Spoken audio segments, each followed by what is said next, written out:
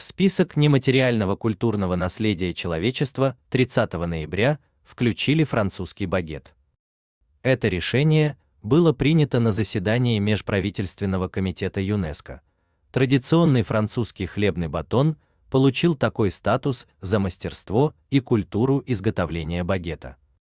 Важность символа французского культурного наследия подчеркнула министр культуры Франции Рима Абдул Малак.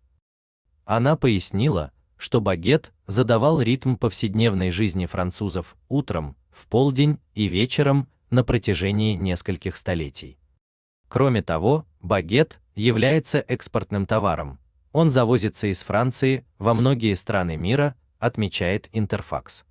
Сохранить и защитить культуру изготовления багета, чтобы обеспечить передачу этого наследства из поколения в поколение.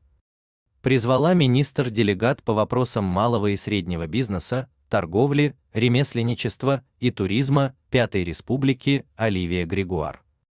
Заявка на внесение традиции изготовления французского багета в список нематериального культурного наследия ЮНЕСКО была подана в 2021 году.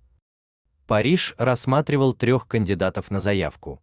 Это парижские крыши, праздник виноделия в коммуне Арбуа в Бургундии и багет. Багет неформальный символ Франции.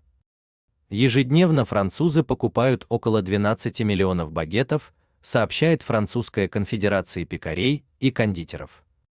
Во Франции проводится конкурс на лучший багет. Победитель конкурса получает приз становится поставщиком багетов Елисейский дворец, резиденцию французского президента.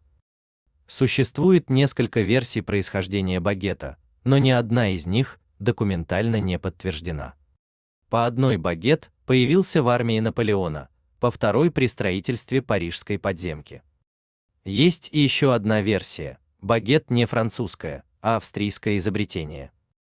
Якобы в 1839 году в Париже открылась венская булочная, в которой и продавался такой хлеб.